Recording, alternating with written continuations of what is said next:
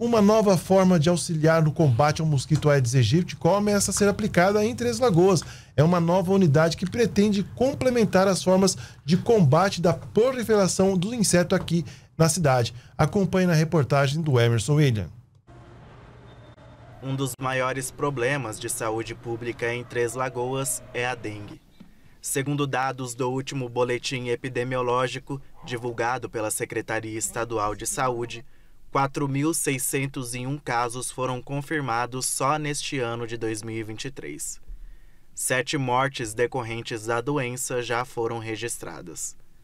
Além de reservatórios de água, calhas e lixo acumulado, um novo foco de proliferação foi identificado pelo setor de endemias, como explica o coordenador do órgão, Alcides Ferreira. Nós notamos é, em alguns momentos que é, aparecia o mosquito, tinha presença de Aedes aegypti e de outros colicídios e não conseguíamos achar a fonte, aonde ele estava se reproduzindo. E aí começamos a buscar outras fontes. E aí foi quando nos deparamos com os bueiros.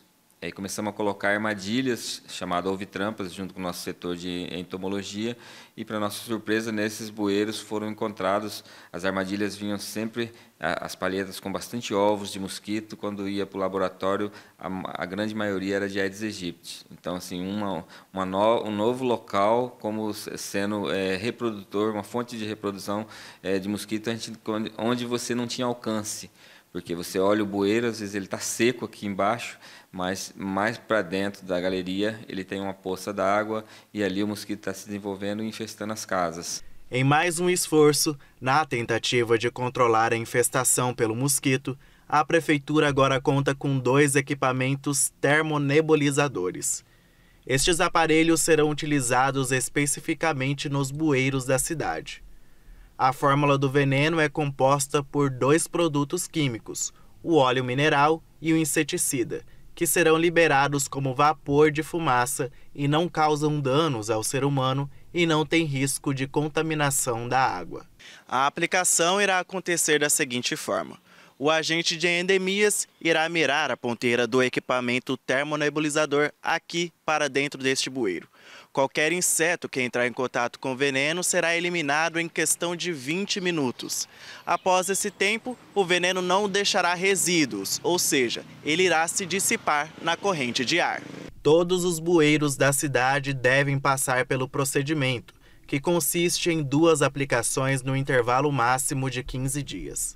O termonebulizador não irá substituir o fumacê, nem os outros métodos já utilizados no combate ao mosquito Aedes aegypti.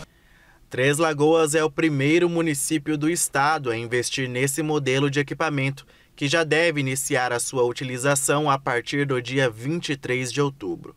O setor ainda não tem uma estimativa do impacto que o produto pode causar na redução da quantidade de insetos mas tanto o setor de endemias quanto de entomologia vão ficar a cargo de realizarem estudos sobre a eficácia deste mecanismo, como explica o coordenador nós vamos fazer é, a borrifação e o acompanhamento. Então, conforme nós vamos borrifando, nós vamos voltando a colocar as armadilhas para estar tá, é, realmente fazendo a aferição da eficácia desse produto sobre esse mosquito adulto, é, para medindo isso, se vai diminuir mesmo essa população, porque no período da seca, principalmente, esse é um dos locais onde mais você encontra mosquito, porque ele tem pouca água, é, mas é o, é o suficiente para o mosquito se desenvolver. Durante o período de chuva, a água passa é, em grande quantidade e não deixa ele se reproduzir, mas quando ele quando está seco, igual nós estamos tendo vivido esses últimos tempos, nós temos pequenas coleções de águas embaixo na galeria,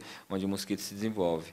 Então, nós vamos estar monitorando é, semanalmente também com as armadilhas para ver a eficácia do trabalho.